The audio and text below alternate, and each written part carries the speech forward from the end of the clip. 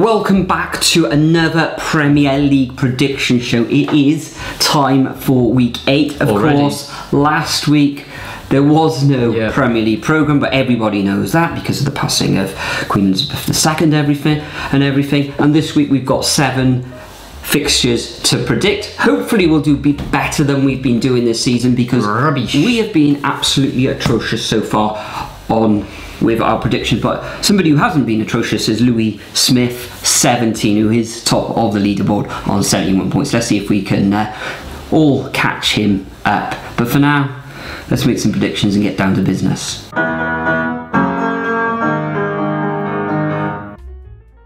Okay, so first up, we have got Villa against Southampton. Now, Villa it languishing in 17th place. Not the greatest of runs, is it, for them? They did get that draw against uh, Man City on the 3rd of September, didn't they? Uh, so it's, a, it's just a bit. Mm. And then Southampton, so patchy form again. I really don't know what to say for this one because I don't rate what Southampton been doing recently. Got one one draw. 1 1 draw, yeah. I think it will be a tight match. However, at home, at Aston Villa, okay, they've only won once this season, which was against Everton at home. Uh, that was a 2 1 scoreline. I think this will end up 2 1 to Villa as well.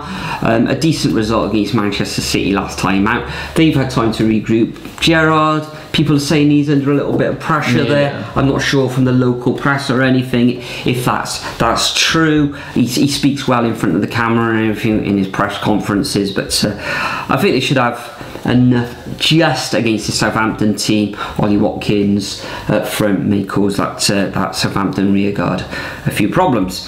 Moving on to the next fixture, we've got the two promoted clubs in Nottingham Forest coming up against Fulham. Fulham have been in impressive form this season. I think Mitrovic has scored something like Yeah, in his he's like last five. Yeah, he's second top scorer. Scored in the last, last five fixtures, if I'm not mistaken. Uh, Nottingham Forest, with all their players, they're still kind of bedding in. Spurs beating Fulham last time out in that all London affair. Nottingham Forest, three defeats now on the bounce. They Difficult really- fixtures, however, they should have beaten yeah, Bournemouth. they were 2 should 0 have. up in that fixture, but uh, in this one, I think there will be goals again. It uh, is at the City ground.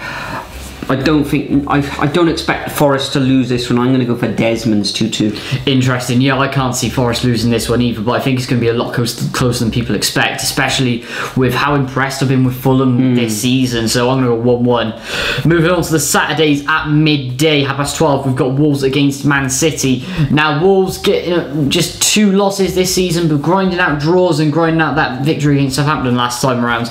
And then Manchester City, they're, well, Erling Haaland, what an absolute beast, isn't he? Um, or no losses in their last six. So, yeah, fully expect Man City with this one 3 1. Yeah, well, they're currently playing Borussia uh, Dortmund at the time of recording. We are recording this on a Wednesday evening. Manchester City coming up against Wolves. Last season, the same fixture, they absolutely smashed Yeah. this Wolves side 5 1. I don't think it'll be quite um, a as a convincing win as that one, but I do expect them to come away with a clean sheet. This Wolves team isn't scoring goals. How many have they got this season? Um, three in the league, but they're not conceded many either. So I'm going to go for a 2 0 away victory to the Citizens. Then we move on to the only 3 o'clock on Saturday. Terrible. Come on, sort it out, Premier League. That's when football's supposed to be played. We got Newcastle against Bournemouth. Newcastle impressive, but they're not actually winning many games. They've only won once this season for all their um, good play, but I do expect them to uh, Yeah. win this one, and I think they're going to win comfortably. Okay, Bournemouth have had a little bit of resurgence after getting thumped 9 0 away against Liverpool, drawing 0 0 against Wolves at home, and a, a very good comeback win against the Cherry, uh, against Nottingham Forest.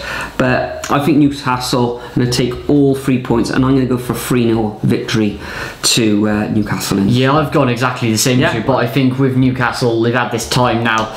Um, they are grinding out good results, not losing games, and I think this is going to be a thrashing 4 0. And Isak as well settling in. Isak, yeah. Oh, what Alexander Isak, what a player he, He is a good player. What a player. People say he's going to get all the goals. I don't think he's been that prolific in his career so far, but he, he, he is a threat up front. Isn't Mm, He, he- he is, yeah, but he gets the assists, Mm. he gets the play generated, you know. But anyway, moving on to the half past five, we've got Spurs against Leicester. Now, Brendan Rodgers saved for another week, but the trend is going to continue for me. What's going to happen in this one is Spurs are going to win 2 0, and then that means that is Leicester's sixth match that they have lost in a row, meaning that, like with Craig Shakespeare, like with Claudio Ranieri, and like with Claude Puel, Brendan Rodgers getting sacked. You reckon this is the weekend? This is for the him? weekend, sixth in a row.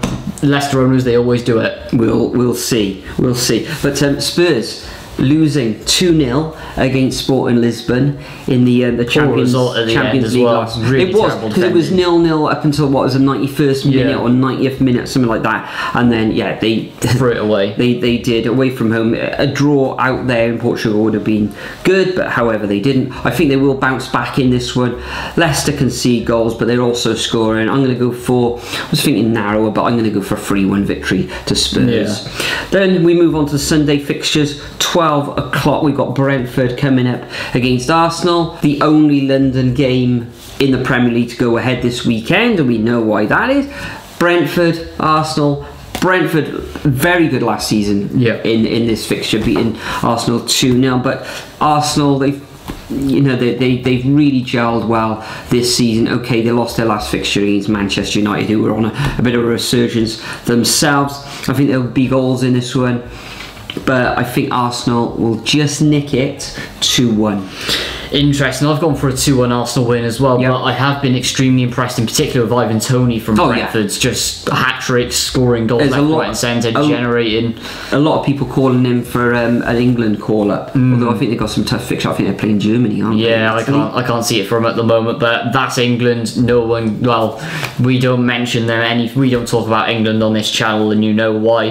Um, but yeah, Arsenal with a good form that they've had. Yes, they did lose that match against Manchester United, but at the end of the day, they're on a resurgence, and Arsenal they can have they can have stumbles at uh, some point. So I'm going to go for a two-one Arsenal victory in this one. And finally, we've got Everton West Ham, bottom of the table. Well, pretty much bottom of the table clash. Everton drawing everything in mankind's existence, while not playing particularly well.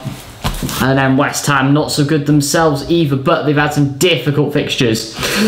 To be fair to them, don't know what to say really. If I'm honest, I was thinking about a draw, just because of Everton, how many they've drawn recently. But I'm going to back West Ham one 0 One 0 Yeah, if this could go either way, I think it will be a tale I of can't two Everton defensive. Well, Everton's defence this season, okay, they're not scoring. I think they've only scored was it four times this season. and I believe West Ham, failed to three. Keep, they've also failed to win, yeah. and I believe they failed to keep a clean sheet as well. Um, well, No, they haven't. Liverpool in that Merseyside derby, wasn't it? I think this is going to end up nil-nil as well.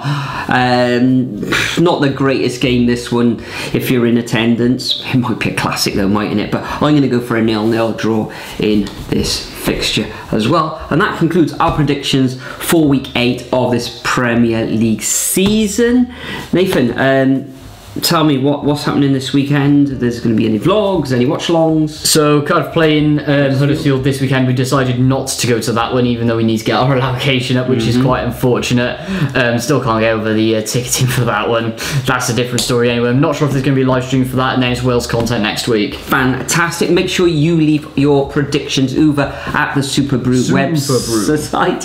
There is a link in the description and uh, the, the league code as well. I may even put up on the screen for you. Uh, follow me on TikTok as well if you can. Have some have a bit of a laugh. And you're on there as well, but you haven't posted in a while. mate, But over uh, a yeah. yeah, thanks for joining us once again. Enjoy your Premier League weekend, and we'll see you all in the next video. wanna be great. Yeah, I just wanna be great. Yeah, I just wanna be great.